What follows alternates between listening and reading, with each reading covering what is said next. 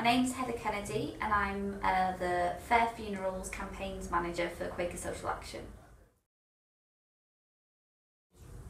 Today we're really pleased to announce that we're extending the pledge um, and we're asking funeral directors to put prices on their websites. We're also announcing the fact that Co-op Funeralcare are signing up to the pledge um, so that's a thousand more funeral um, homes that will have prices for their websites. They're the biggest provider of funerals in the UK. So what this means is that there's going to be a third of the, the funeral industry are going to be signed up to the pledge.